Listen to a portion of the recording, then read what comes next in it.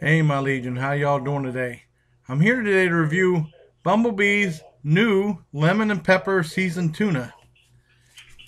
And it says it's infused flavor. I haven't done one of these in a while. I have, I have some more stuff. And um, what was I gonna say? I have some more stuff. Someone said that they uh,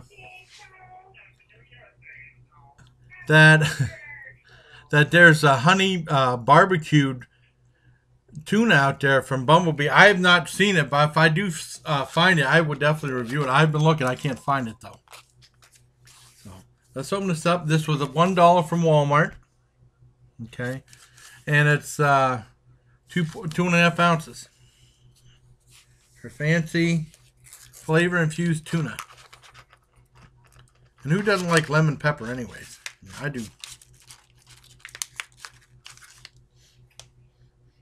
Wow, smells really good. You can smell the, the lemon in here. Let's try this out.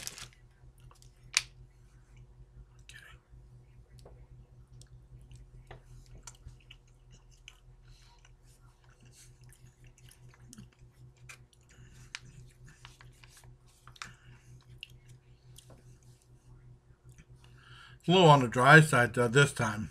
Sometimes the uh, flavor infusion was perfect. Uh, this is very tart with lemon flavor. I don't taste pepper. Let me see if I try, I try it again.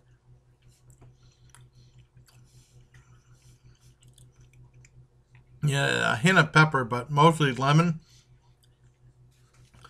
I've had the other ones which are much better than this. I'm, I'm a little bit disappointed. I thought this would be better than this. It's very tart, though.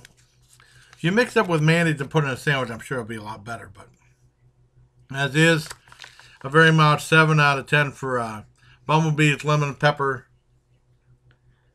pepper uh, seasoned tuna. So until next time, bye, please take care of my legion. I'm going to go ahead and mix it up into a sandwich.